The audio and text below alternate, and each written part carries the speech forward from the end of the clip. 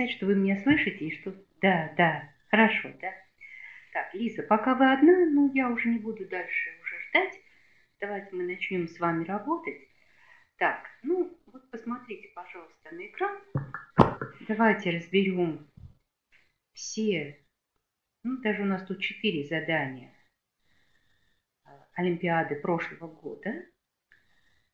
Один вариант для учащихся 8-9 классов, один вариант для 10 классов и два варианта для 11. Ну, давайте посмотрим.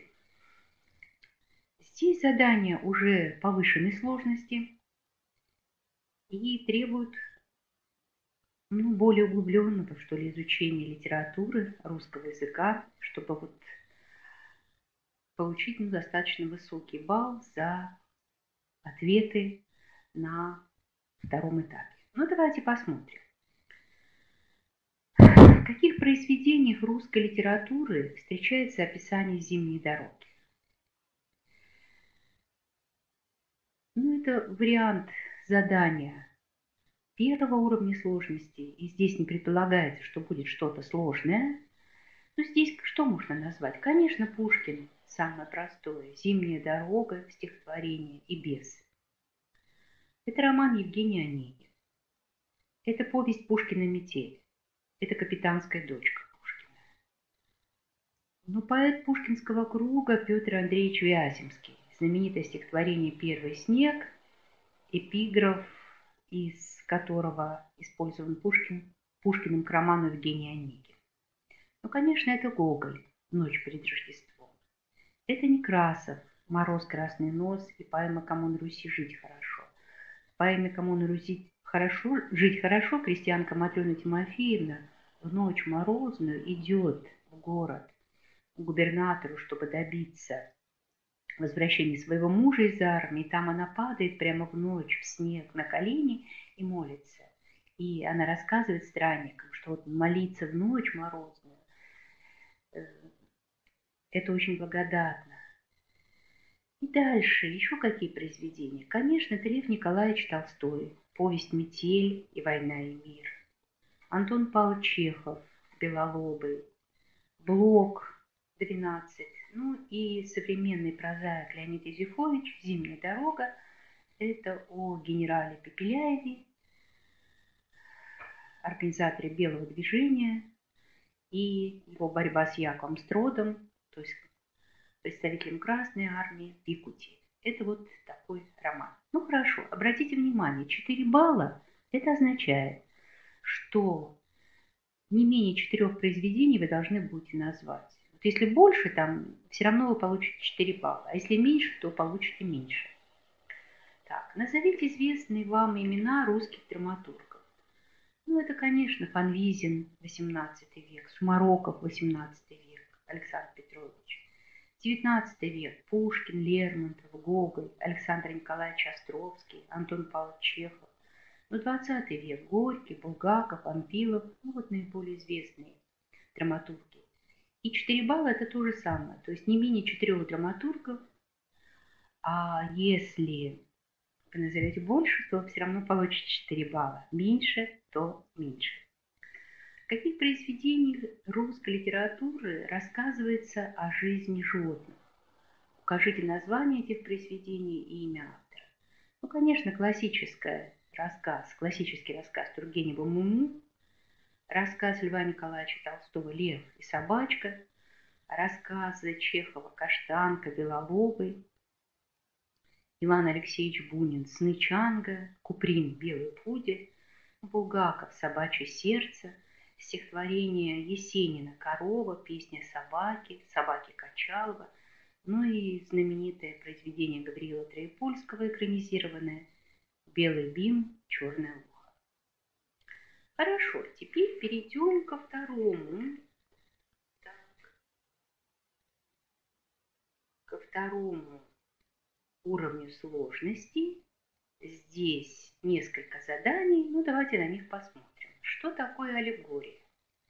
Дайте определение, приведите примеры на материале одного-двух произведений.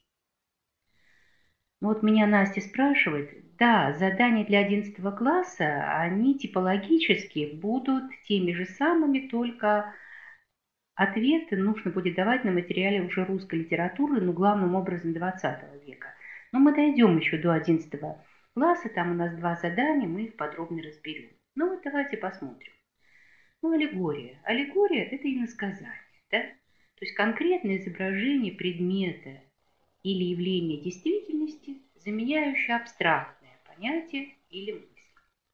Ну, здесь, конечно, басни Крылова, евангельские притчи, тоже они аллегорические. Но из художественных текстов вам хорошо известны. Это калмыцкая сказка про орла и ворона из капитанской дочки Пушкина. Ну, давайте дальше посмотрим. Задание пятое. Кому из перечисленных писателей и поэтов принадлежат следующие произведения? Ну, здесь вы, наверное, сами можете сказать, но я вам все-таки еще раз озвучу.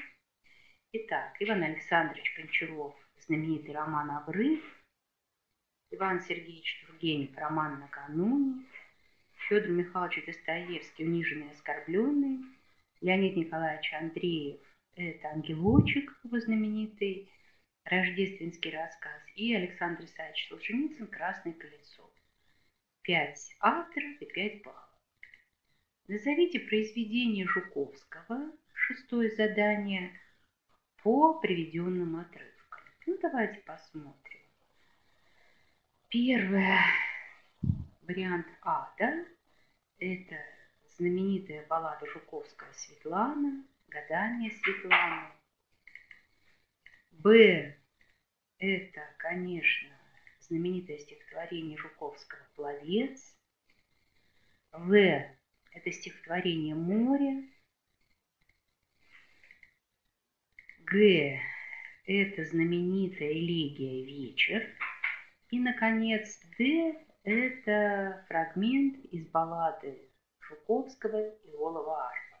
Но если даже вы не знаете эти произведения Жуковского, ну а отрывки подобраны таким образом, чтобы вы, ну, по крайней мере, могли соотнести текст этого отрывка с названием. И как бы предполагается так, что здесь вы, соответственно, идете между названием и фрагментом стихотворения. Так, ну, седьмое задание предполагает ваш свободный ответ. Назовите ваше любимое литературное произведение, охарактеризуйте его в пяти предложениях. Вот обратите внимание, что не надо очень много писать здесь. Во-первых, это ваше время э, – уходит. Во-вторых, это умение мыслить конкретно, четко, потому что литературоведение, как бы мы ни говорили, это точная наука тоже. То есть она требует вот четкого выражения, четкого понимания. Так, вот здесь э, как бы оценивается 6 баллов, но в сущности оценивается любой ответ. И если ответ, ну вот, э, ну, достаточно полный, то тогда вот максимум вы можете получить 6 баллов. Ну, теперь давайте вернемся, вернее, обратимся к заданиям третьего уровня сложности. Что здесь имеется в виду? Вот посмотрите, здесь даются краткие фрагменты из биографий известных писателей. И здесь, конечно, задания составлены так, чтобы вы могли ну, найти какое-то ключевое слово и по этому ключевому слову определить имя этого писателя. Но вот удивительное чувство охватывает вас при въезде в Тархан. Видишь часовню, спускаешься в склеп его гробу и с горечью понимаешь, убит. Ну, Тархан – это Пензенская губерния, это имение бабушки Михаила Юрьевича Лермонтова. И вот второе указание, что убит, да, убит на дуэли, это вот все говорит о том, что мы не должны ошибиться в ответе на этот вопрос. Дальше, оказавшись в Петербурге, не всегда имея в кармане деньги, даже на, полноценный обед, он начал сочинять азбуки и сказки в стихах. Так, тут я немножко пропускаю. Дальше, впоследствии стал известен как поэт и журналист, издатель журналов «Современник», «Отечественные записки». Речь пойдет, конечно, о Николае Алексеевиче Некрасове. Вы, ее стихотворение, мне нравится, что вы больны не мной, золотыми строками вписано в историю мировой поэзии. Ну, понятно, это, конечно, Марина Ивановна Цветаева. И, наконец, русский писатель, участник Великой Отечественной войны, проведший несколько лет в лагерь для политических заключенных в Казахстане, лауреат Нобелевской премии по литературе. Но это Александр Исаевич Солженицын. Конечно, у нас не так много лауреатов Нобелевской премии, и это речь идет о Солженицыне. Итак, вот за каждый правильный ответ вы получаете по 2 балла, общее количество баллов 8. Давайте перейдем к заданию девятому. Оно тоже довольно сложное. То есть вам будет предложен текст, и в этом тексте нужно записать последовательность развития сюжета или событий в этом тексте. Ну вот давайте станционный смотритель. Ну здесь последовательность такая. Б, есть это встреча вот рассказчика с Дуней. Дальше. В, когда рассказчик второй раз посещает станцию. И А – это когда он третий раз приезжает мимо этой станции, и уже нет ни Дуни, нет ни станционного смотрителя, и историю смерти смотрителя, посещения Дуни, вот его кладбище, то есть его могилы на кладбище, вот такая последовательность. Итак, В, В, А. Именно так и записываем. Александр Иванович Куприн, чудесный доктор. Так, ну вы помните этот рассказ, как некий Мерцалов, глава семейства, оказался без работы, и накануне Рождества он буквально находится на грани самоубийства. И случайно он встречает в парке знаменитого хирурга Пирогова, но он не знает еще, что это Пирогов. И здесь последовательность такая. В, Б, А. То есть вот встреча их в парке, потом посещение Пироговым квартиры Мерцалова, где находилась его больная жена, и Э, рецепт и деньги, которые оставил незаметно, то есть деньги незаметно оставил Пирогов для этого семейства. И оно оказалось вот, ну, как бы сумело преодолеть эти трудности, и все в жизни этой семьи затем наладилось. Вот третье произведение. Это знаменитый рассказ Астафьева для детей «Стриженок скрипт». Ну, здесь э, последовательность такая. А – это вот рождение стрижонка. Дальше.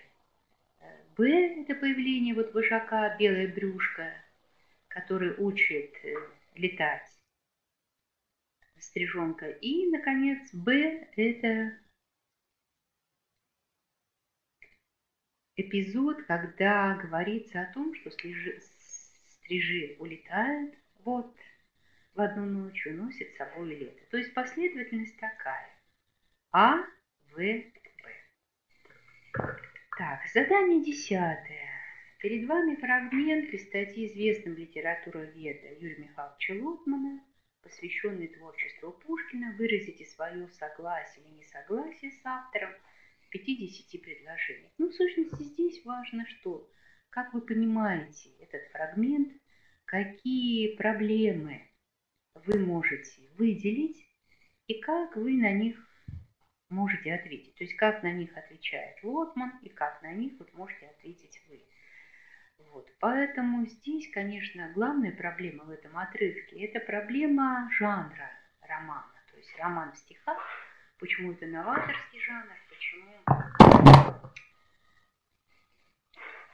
Пушкин обращается к этому роману, какие традиции в мировой литературе предшествовали созданию вот этого жанра романа. И второе – это проблема повествования, то есть рассказ в жанре романа в стихах и рассказ, который ведется вот с позиции такой разговорной болтовни.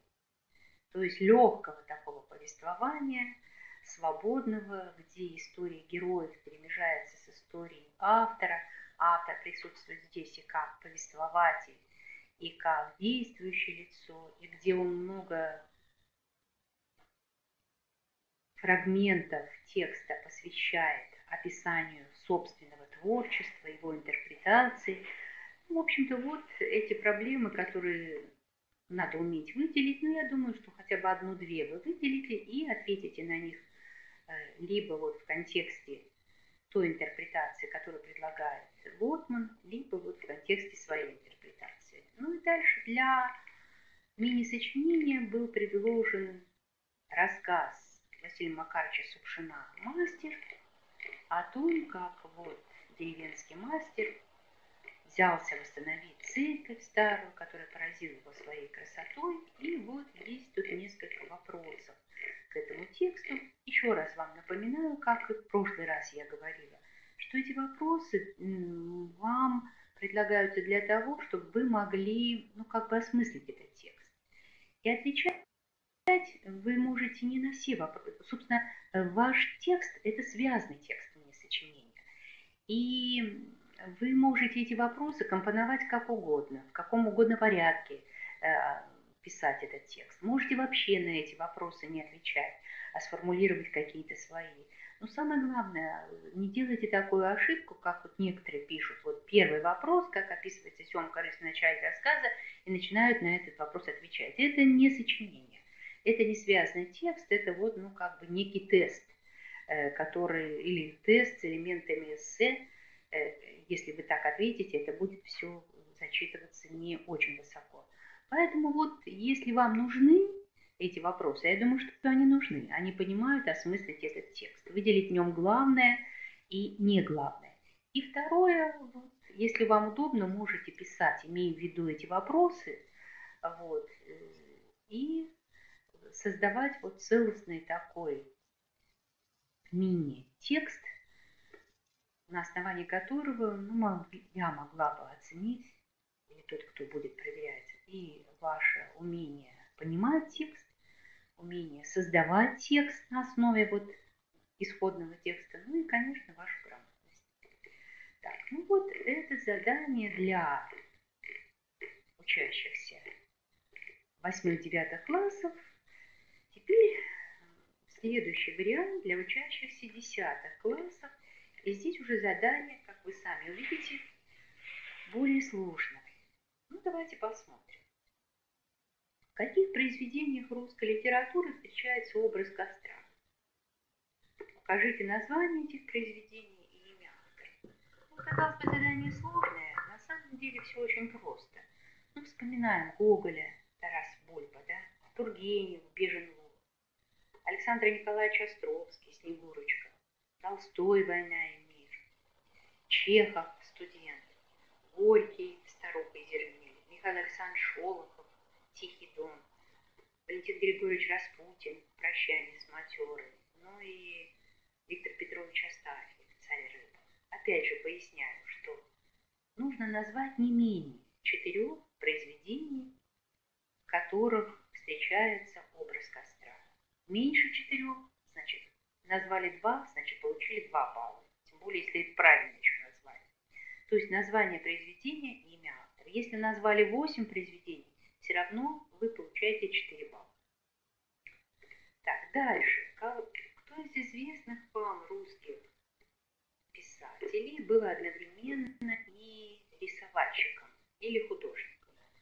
Ну, это, конечно, Василий Андреевич Жуковский, Александр Сергеевич Пушкин, Михаил Юрьевич Лермонтов, Тарас Григорьевич Шевченко, Владимир Маяковский и Максимилиан Волошин. Ну, вот наиболее известные имена. То есть вам достаточно назвать вот четыре имени русских писателей, которые были одновременно художниками. Назовите основные жанры лирической поэзии. Ну, здесь сложности нет никакой, вы можете назвать сколько угодно, но достаточно четырех жанров. Ну что, ода, гимн, элегия, послание – идиллия, дума, можно указать медитативную лирику, пейзажную лирику, гражданскую лирику. Вот, это уже как бы типы, типология лирической поэзии. И тоже 4 балла. Задание второго уровня сложности. Что вы понимаете под кульминацией в художественном произведении? Приведите примеры на материале одного-двух произведений. Но кульминация – это высшая точка напряжения в развитии действия. Ну, например, э, трагедии Шекспира «Гамлет» – это сцена мышеловки, когда Гамлет узнает, что действительно, то есть когда театр, приезжие актеры разыгрывают драму, э, пьесу «Мышеловка», и когда король узнает ну, самого себя вот в лице того отравителя, который вот действует в этой пьесе «Мышеловка». Или, например, что касается романа Евгения Онегин, это убийство на дуэли Онегина Ленского, это вот тоже кульминация романа. Хорошо, кому из перечисленных писателей и поэтов принадлежат следующие произведения? Ну вот мы уже говорили. Лев Николаевич Толстой – это юность. Островский – это таланты и поклонники. Леонид Андреев – ангелочек, мы уже упоминали. Владимир Набоков – это защита Лушина. И Евгений Евтушенко – станция «Зима». Так, назовите произведение Афанасия Афанасьевича Спета по приведенным отрывкам. Да? Ну, давайте посмотрим, что здесь для нас оказывается важным. Опять же, вы можете не знать, откуда взято это произведение, но вы можете соотнести содержание этого отрывка вот с теми названиями или номинациями, произведений Фета, о котором вот здесь говорится. Итак, свет небес высоких и блестящий век, и саней далек, снег, и саней далеких одинокий бег. Ну, это чудная картина, стихотворение называется. Второй вариант – это осенняя роза, красивый образ, и Георгина дыханием ночи обожгло ночью уже прохладно. В – это, конечно, зреет рожь над жаркой нивой.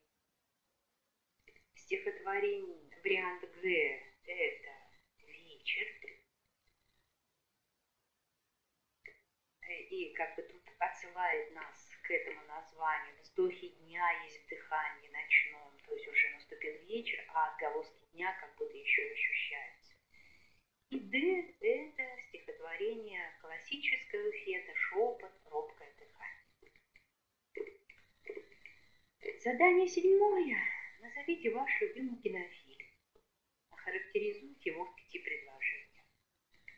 Ну, здесь э, ваше творчество, все, что хотите, можете писать. То есть это вот, ну, это задание, конечно, было прошлого года.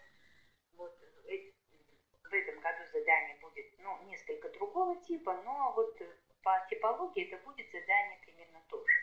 То есть там вам будет предложено высказаться по поводу того-то, того-то и того-то, вот, и рассказать об этом в пяти. Итак, дальше давайте посмотрим. Итак, третий уровень сложности, десятый класс, задание олимпиадной прошлого Итак, ну давайте посмотрим ключевые слова, по которым можно определить имя писателя. В 1821 году он поступил в класс Нешинской гимназии, где изучал юстицию. Ну, конечно, это Николай Васильевич Волоков, он учился в Нешине. Им было совершено долгое путешествие на Сахалин. Там писатель изучал жизнь сына. Ну, вы знаете, это Антон Павлович. Дальше. В. Кроме писательской деятельности, он прославился как журналист, став редактором журнала «Новый мир». Ну, конечно, это Александр Трифонович Твардовский. Он известен как поэт, парт, прозаик, сценарист, композитор. Был участником Великой Отечественной войны. Но здесь очень важно не спутать э, Высоцкого э, с Булатом Шаловичем Акуджавом. Это Акуджав, потому что Высоцкий был ребенком еще во время войны, а Акуджава был участником Великой Отечественной ну, давайте теперь посмотрим вот задание девятое. Здесь предложено вам первый рассказ. Это рассказ Тургенева «Вешние воды». Последовательность здесь такая. В, Б, А. То есть воспоминания Санина о своей жизни. Поводом служил вот этот крестик гранатовый, который он обнаружил в коробке. Потом он вспоминает как состоялась его встреча с Джеммой, это Б, а затем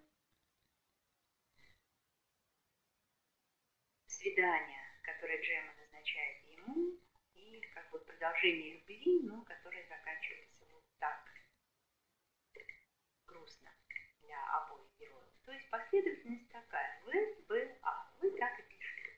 Ну, Достоевский «Преступление и наказание». Здесь нет никаких сложностей. Здесь последовательность Б – это фрагмент из, из сна Раскольникова. Дальше А, Б, А, когда Раскольников э, на площади признается в своем убийстве, и В – это уже Раскольников вместе с Соней на каторге в Сибири. То есть вариант такой – Б, А, В. Так, и Александр Грин, Алые паруса. Ну, здесь последовательность такая. А, то есть предсказание, которое услышала Асоль. Дальше это В, капитан Грей, который увидел ее спящей в лесу и надел ей на палец кольцо. И, наконец, вот это Б, когда она видит в окно эти алые паруса и бежит на берег моря, чтобы встретиться с Грей. Последовательность такая. А, В, П. Ну, здесь предлагается отрывок из статьи Аполлона Григорьева, это знаменитый критик XIX века. Э, анализ статьи, посвященный вот анализу комедии Грибоедова. Ну, здесь важно выделить, что здесь центральная проблема – это образ Чацкий, то есть вот первое предложение Чацкий есть единственное героическое лицо нашей литературы. Вот как бы главная проблема, и дальше необходимо отметить вот на этот вопрос. Здесь я тоже не, не приглашаю вас к тому, чтобы вы писали очень много. Ну, достаточно 8-10 предложений, коротких, чтобы ответить вот на этот вопрос. Если не, можно, не можете написать там 8-10 предложений, но напишите 5. Это тоже будет хорошо. Написав 5 предложений, уже 5 баллов вы получите за вот, ответ на этот вопрос. Ну и забыла вам сказать, что вот задание девятое оценивается 9, 9 баллов, то есть за каждый правильный ответ вы получаете 3 балла. Правильно выстроив вот это развитие сюжетной линии в рассказах, о которых идет речь, вы получаете 9 баллов. А вот задание восьмое, за каждый правильный ответ выставляется 2 балла. Итого общая оценка, сейчас мы посмотрим, общая оценка 8 баллов. Да. То есть указать и не писать. То есть здесь 2 балла за каждый правильный ответ, в задании девятом 3 балла за каждый правильный ответ. Хорошо. Так, ну теперь мы переходим тексту. Это текст «Лесная сказка» из собрания сочинений Дмитрия Мамина Сибиряка. И опять вот пять вопросов, которые помогают вам понять содержание этого текста и осмыслить его, и на основе этого текста создать вот свой текст, свое мини-сочинение и показать, насколько вы вот можете его осмыслить, понимаете проблему, ну, насколько этот текст в конечном счете был вами понят.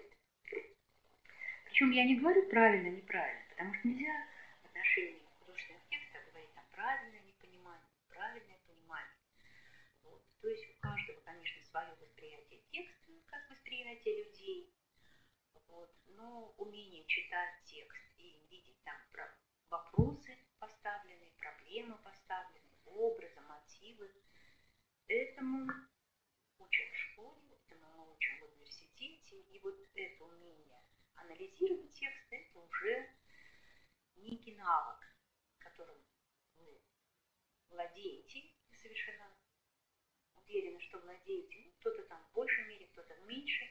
Ну, для того, чтобы написать мини-сочинение, не надо обладать слишком большим количеством этих навыков. Просто нужно уметь читать текст, понимать текст, проблемы, видеть образы, видеть красоту языка русского. И, думаю, проблем у вас никаких не будет.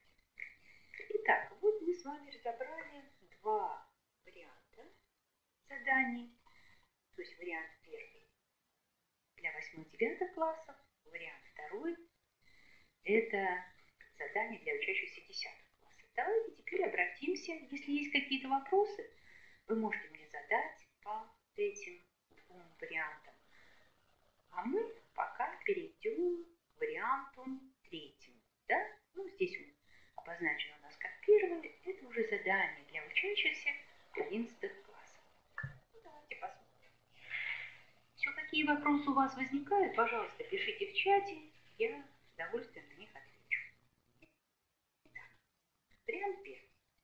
В каких произведениях русской литературы описывается процесс чтения героями книг? Но видите, задание уже усложняется.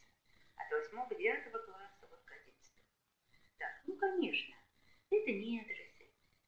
Софья там читает книгу Пушкина, Евгений Онегин, Лермонтов, герой нашего времени, то есть Печорин, Передуэли, читает роман «Шотландский пуритане» Вальтера Скотта, Тургенев, «Отцы и дети», Гончаров, Обломов, Обрыв, два романа, где герои читают книги. Это, конечно, Достоевский, «Бедные люди».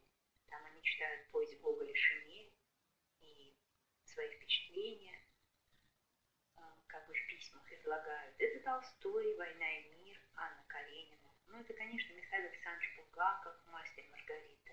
Не только читается, но и пишется, как бы роман вот, на глазах у зрителя. Ну, конечно, Пастернак, доктор Живаго. Второе задание. Ну, еще раз повторюсь, что достаточно назвать четыре произведения. Можно назвать и больше, но больше четырех баллов вы не получите. Так, назовите имена известных поэтов и писателей, относящихся к первой волне русской миграции. Ну, это, конечно, те, кто уехал из России сразу же после революции, либо вот в 20-х годах. Ну, это Иван Алексеевич Бунин, это Гаито Газдан, это Борис Константинович Зайцев, это Георгий Иванов, это Владимир Набоков, это Ирина Адоевцева, это Борис Поплавский, это Михаил Азаргин, это Алексей Ремезов, это Саша Черный, это Шмелев Иван Сергеевич. И э, Владислав Подосевич. Ну вот, тоже достаточно назвать только четыре имени.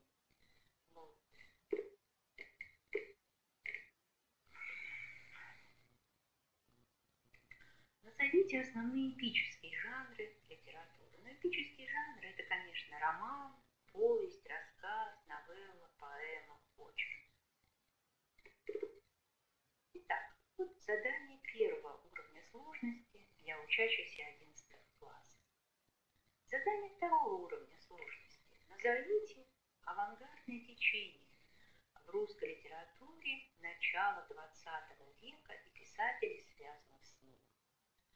К авангардным течениям относятся футуризм, кубофутуризм, эго-футуризм, группа мезонин поэзии и группа центрифуга. Ну, футуризм, конечно, это Владимир Маяковский, Велимир Хлебников, Давид Павлюк. Кубофутуризм все остальные, то есть все предыдущие, и Елена Буро, и Бенедикт Лившиц. Эго-футуризм, ну это, конечно, Игорь Северянин, группа мезонин поэзии, но если вы знаете, не знаете, можно написать Вадим Шерченевич, группа центрифуга, это Борис Пастернак и Николай Осин.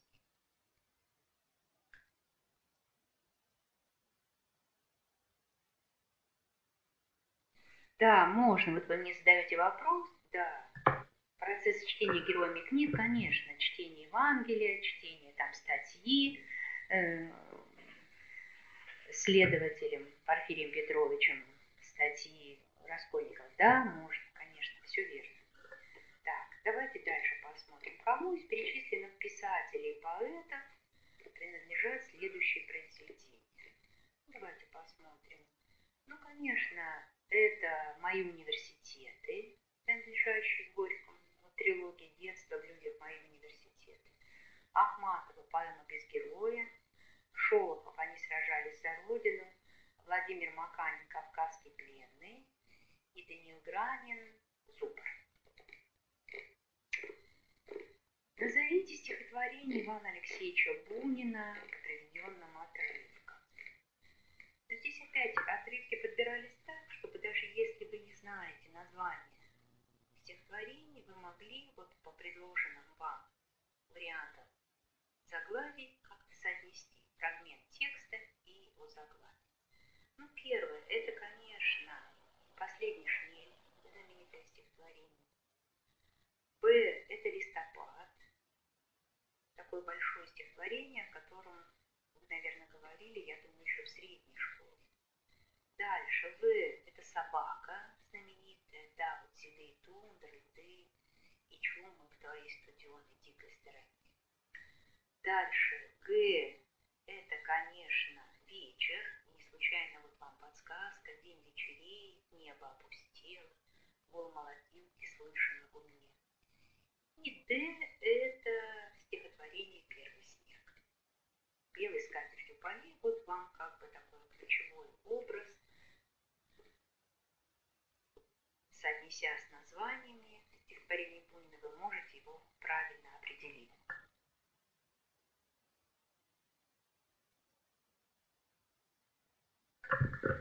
Так, ну, Лиза, я вот не совсем понимаю в последнем задании, то есть вы имеете в виду, что мини-сочинение – Нет, ну, ну можно и проанализировать произведение. Вообще мы называем мини-сочинение, но если у вас есть как бы навык э, составления ну, такого аналитического эссе или эссе с элементами анализа художественного текста, да, это более высокий уровень. Э, и мы на подготовительных курсах у нас учим этому прежде всего. И этим занимаются школьники вот в Томском гуманитарном лицее, да, это лучший вариант. Проанализировать произведение, если можете. Если не можете, пишите просто сочинение, потому что как бы задания составляются ну, такие универсальные для школьников разных регионов, школ, и лицеев, и поэтому с разным уровнем подготовки. Ну и я пишу задание, мини-сочинение, но на самом деле это можно понимать широко, да. Я понимаю, если будет анализ текста, то это будет лучший вариант. Более ценится, что ли, и оценивается высоко, выше. Но это кто уже как э, подготовлен и кто имеет какой навык в работе вот с этими так, ну и вот посмотрите седьмое задание. К какому литературному порталу в интернете вы чаще всего обращаетесь? Характеризуйте его в пяти предложениях. Ну, да, вот задания такого типа э, повторяются и уметь работать с интернетом, с литературным материалом в интернете, охарактеризовать его, это очень важно. Ну, давайте вернемся к заданиям третьего Так, указать имя писателя. Родился в Киеве, в семье преподавателя духовной академии. В 1909 году поступил в Киевский университет на медицинский факультет. Ну, конечно, это Михаил Афанасьевич Булгаков. Киев – это вот такая подсказка. В 29 году он дописал роман Черенгур. Дальше спустя год поставил финальную точку в социальной притче Козлова. Ну, понятно, что это Андрей Платонович Платонов. Здесь прямо произведение называется. Безусловно, он был и остается знаковой личностью для нашей страны. Многогранность его таланта позволяет судить о нем как о гениальном поэте, ярком актере, самобытном исполнителе песен авторских. Но это Владимир Семенович Высоцкий. Свои первые стихи написал 10 лет. Спустя 4 года юный поэт отправил свои произведения на рецензию Борису Пастернаку, но речь идет об Андрея Андреевича Вознесенском. Итак, за каждый правильный ответ по два балла. Девятое задание. Три текста, и первый из них – это куприн гранатовый браслет. Но здесь последовательность такая. А, то есть день именин, ті решения в и б, когда она уже узнает о смерти Желткова понимает, что вот в его лице она имела такую вот исключительную любовь, о которой ну, могут мечтать только многие женщины. И вот этим как раз и завершается рассказ Пустовский, корзина с ловыми шишками, о композиторе Григе, который посвятил свое музыкальное произведение дочери лесника Дагни Петерсон. Здесь последовательность такая. В, то есть Б, В, А, Б, В, А. То есть композитор вот случайно встречается с девочкой в лесу. Дальше он пишет для нее вот эту музыкальную пьесу, и А, она уже взрослая, слушает эту пьесу и слышит посвящение к ней, узнает или вспоминает об этой случайной встрече в лесу. Ну и, наконец, Солженицын, Матрёнин двор. Здесь последовательность такая. В, А, Б. Ну, особенно здесь, конечно, финал очень знаковый. Именно это финал повести, что все мы жили рядом с ней и не поняли, что она есть тот самый праведник, без которого по пословице не стоит село, не взять Итак, за каждый правильный ответ на вот эти вот фрагменты из текста вы получаете по 3 балла в общей сложности Ну, вот фрагмент из письма литературоведа Эммы Герштейн Борису Леонидовичу Пастернаку по поводу его романа «Доктор Живаго». Ну, здесь то же самое. Вот соотнесение этого романа с романом Толстого «Войны мир», та эпопея, эта эпопея. И вообще о чем она? Эта эпопея Пастернака, какие события там описываются, и вот реакция одного литературоведа, вот очень известного Эмма Герштейн, который много писал о Лермонтове, кстати, вот известному писателю Борису Леонидовичу Пастернаку. Ну, вот, тоже, ну, я думаю, что максимум ну, 8-10 предложений, много не нужно писать здесь. Вот, пишите кратко, емко, чтобы я могла чтобы я могла, или тот, кто будет проверять, э, вот, оценить вот ваше уже не просто как бы понимание текста, а умение анализировать его, видеть проблемы. Так вот Саша задает вопрос, можно ли участвовать в Олимпиаде онлайн? Да, конечно, можно. Только мы там ограничим время э, вашего ответа на вопрос. Ну вот это вот эссе очень интересное Троцкого о Венеции, набережной неисцелимых. Ну, кто из вас был в Венеции, то помнит, конечно, вот этот Игран-канал и описание вот самой Венеции, и вокзал Санта-Лючия, куда прибывают поезда. Ну вот здесь такой фрагмент очень интересный. И Сан-Марко в снегу. Ну вот Троцкий был в Венеции, как правило, обычно всегда зимой. В декабре он приезжал, и вот это вот маленькое эссе, то есть фрагмент из его эссе «Набережная неистребимых Венеции». И вопросы, которые тут вот предлагаются вам. Ну, я еще раз хочу сказать, что отнеситесь к этим вопросам совершенно свободно, то есть если они вам помогают понять текст, опирайтесь на них, если не помогают, сделайте вид, что их нет. И когда пишете эссе или аналитическое эссе или мини-сочинение, не отвечайте вот на форме теста на каждый вопрос. Этого не надо делать.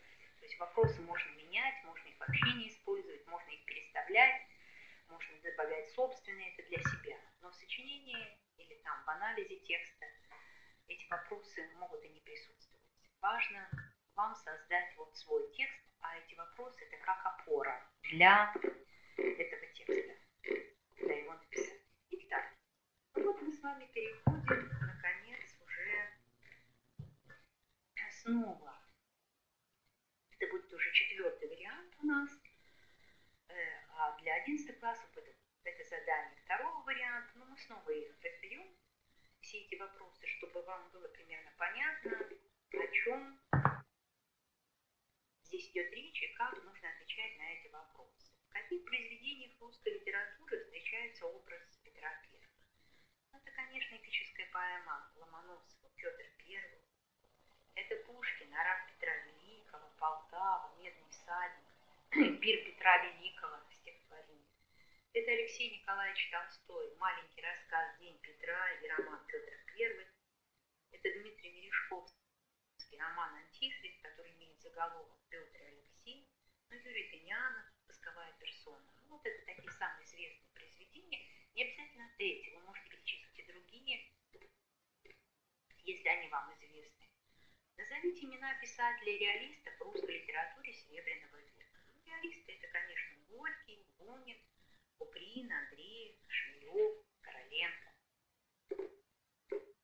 Назовите известные вам жанры древней русской литературы. Ну, это летопись, житие, слово, послание, поучение, повесть, чтение. Вот. Ну, достаточно вот, ну, несколько назвать, и этого будет достаточно, то есть не менее четырех. Хорошо, теперь перейдем к следующему заданию, оно немножко посложнее. Второго уровня сложности, задание четвертое. Что понимается под термином искусство для искусства в литературе? Приведите примеры на материале одного-двух произведений. То есть чистое искусство или искусство для искусства – это условное название таких эстетических концепций, общий смысл которых заключается в том, чтобы утвердить самоценность искусства продекларировать отказ искусства от какой-либо политической ангажированности. Это программировать, ну, скажем, не вовлеченность в политику, в общественные какие-то течения, явления. То есть это искусство целью которого является само искусство, то есть воспевание красоты, эстетических объектов, ну и, конечно, писателями э, чистого искусства были Фе, о котором мы говорили, там любое произведение может быть, вот «Осенняя роза», это Тючев, это Алексей Константинович Толстой, это Аполлон Майков, это, ну, в основном, 19 век, это Александр Васильевич Дружинин, теоретик вот этого направления искусства для искусства. Или этого, этой эстетической концепции искусства. Хорошо. Ну, давайте вернемся к заданию пятому.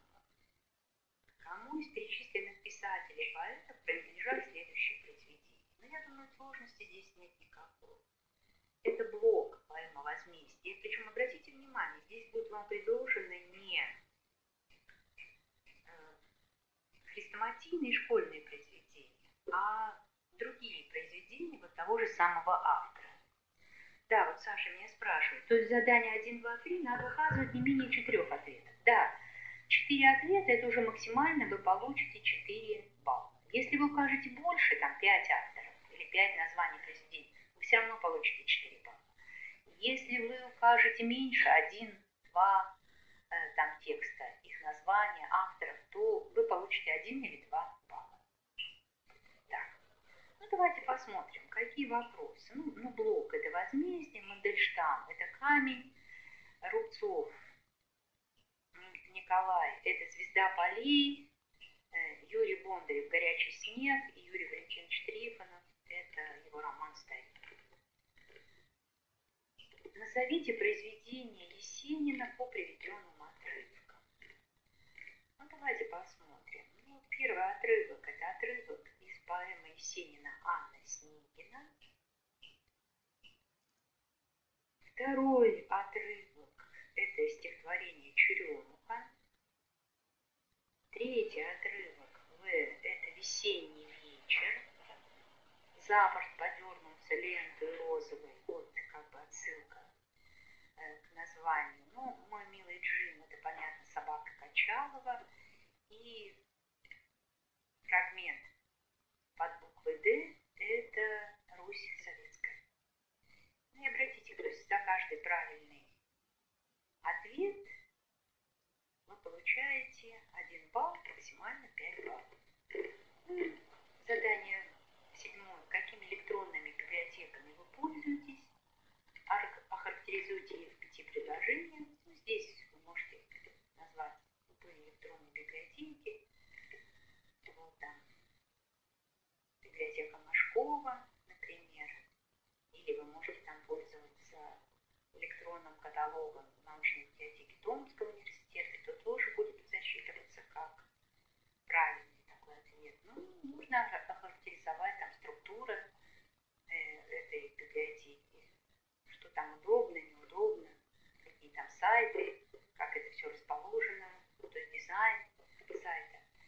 Ну, все что угодно вы можете.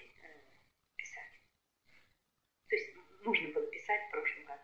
Ну, давайте посмотрим задание третьего уровня сложности. Итак, имя писателя.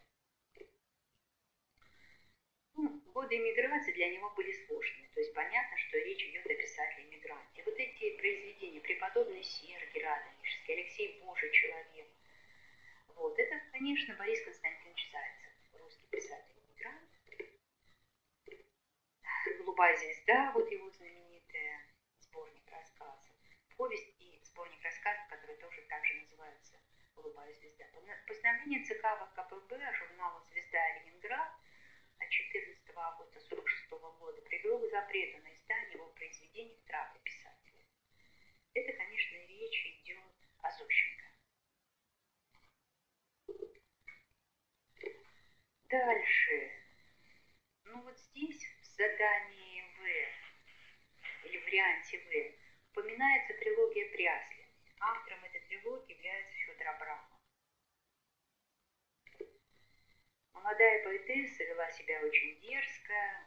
Ну, молодая поэтесса, вот автор сборников «Струна», «Свеча», «Метель тайны» это было Ахмадулина.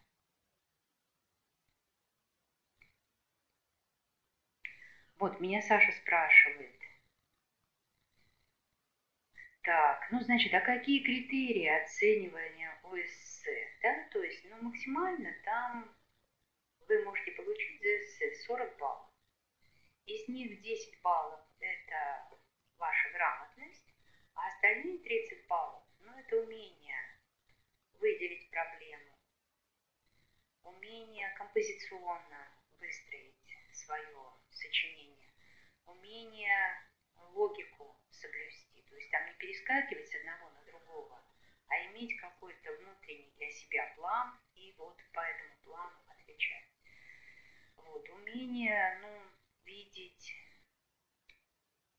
особенности образной структуры этого текста, то есть выделить в нем, в нем ведущие образы, мотивы. Итак, то есть 10 баллов мы убираем на вашу грамотность, то есть максимально, что я могу вам снизить за грамотность, это 10 баллов, но когда там, э, скажем, 5 орфографических ошибок, ну и может быть 7 пунктуационных, то есть это уже 10 баллов убирается, а все остальное, вот 30 баллов, это умение видеть проблемы, еще раз повторюсь, образы, мотивы, композиция вашего ответа. То есть это не должен быть какой-то сплошной текст.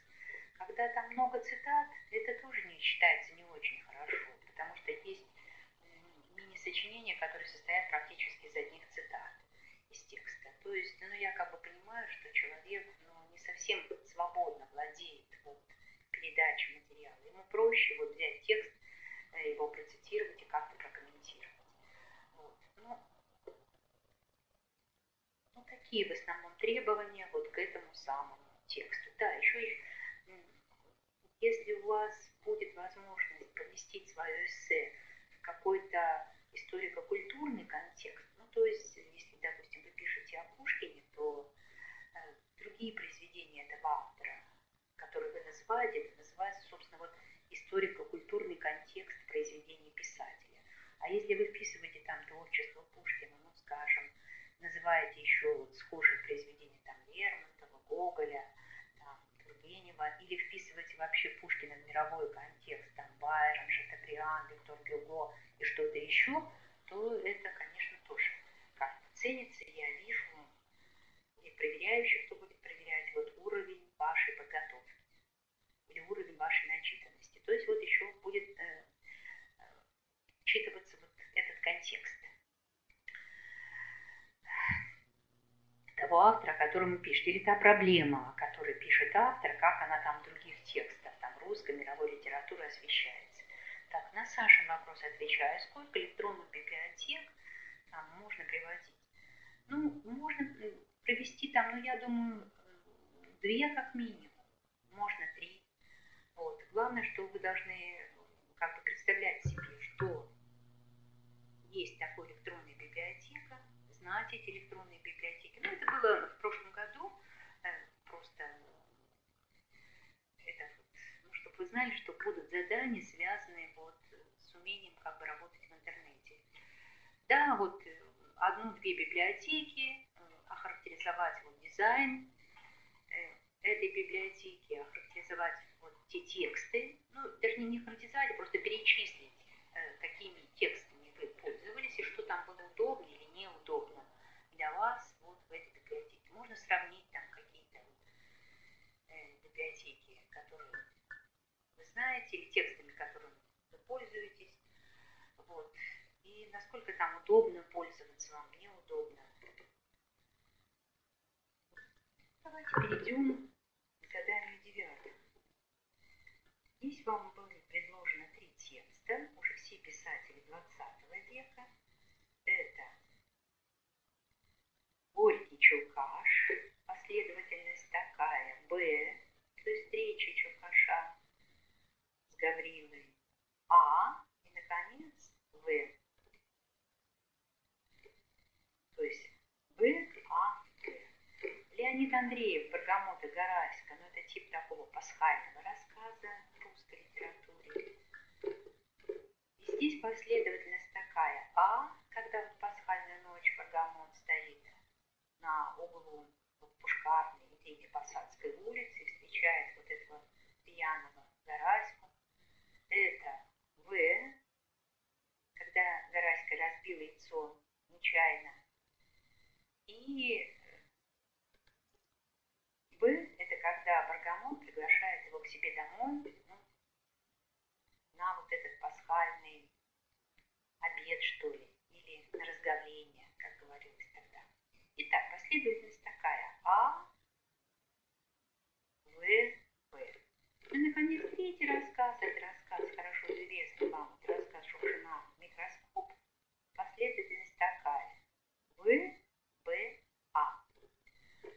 Так, ну и еще раз. За каждый правильный ответ 3 балла.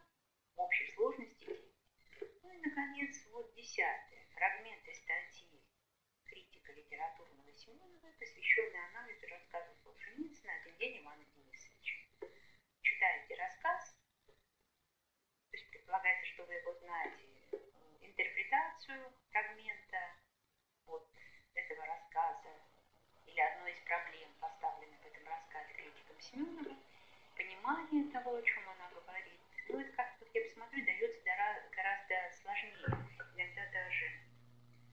Вам легче написать сочинение, чем вот ответить на, этот, на это задание вот в объеме там 5, 8, 10 предложений.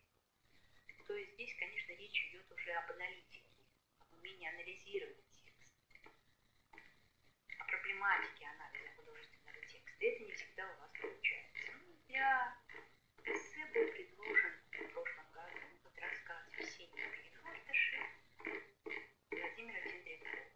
Ну и вопросы, которые были поданы. Итак, ну вот все задания мы с разобрали. Задания примерно будут такого же типа, но где-то там могут быть небольшие изменения, но в сущности вот структура задания это три уровня сложности. Первый уровень сложности, второй уровень сложности третий уровень сложности. Также будет вот эссе и также будет мини-сочинение или аналитическое эссе. Нет, вот в эссе Саша пишет. Не, еще раз повторюсь. То есть давайте мы с вами не будем путать. Вот эссе это все-таки вот 5, 10, 5, 8, 10 предложений, задание 11, э, задание 10. А если вы пишете мини-сочинение, то есть, еще раз, вы неправильно понимаете, вот эти вопросы даются вам для того, чтобы вы осмыслили текст.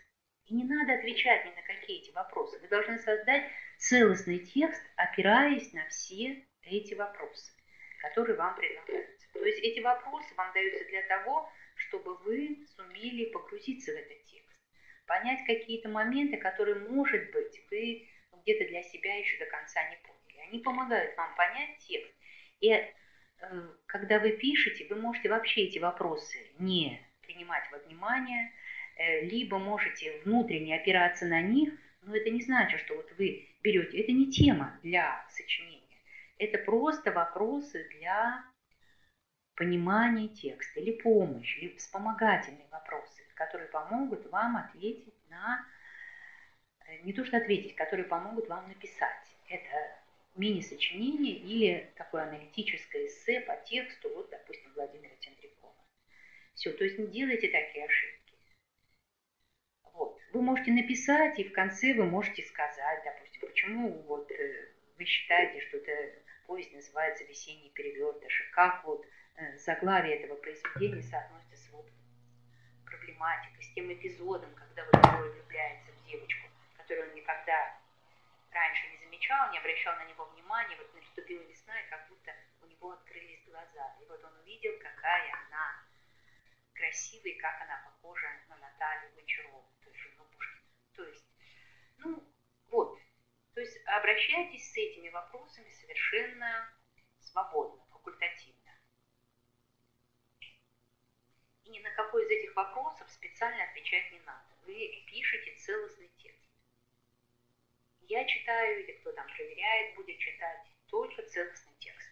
И оценивает вот как. И я оцениваю, или кто-то другой оценивает, как вот такое целостное произведение, написанное на материале вот того текста, который мы вам предложили. Но если хотите, есть такой термин метатекст. То есть это текст о тексте. Вы пишете метатекст, то есть текст на основе, свой текст на основе текста, который мы вам предложили. Ну хорошо, вот я на этом завершаю свое выступление, свои комментарии. Пожалуйста, если еще есть какие-то вопросы, вы можете мне задать. Если нет, то мы уже с вами расстанемся и встретимся, наверное, на уже Олимпиаде.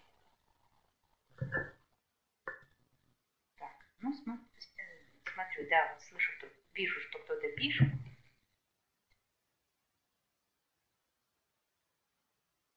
Настя, да. А, ну всем, ну хорошо, вам, вам тоже спасибо, что вы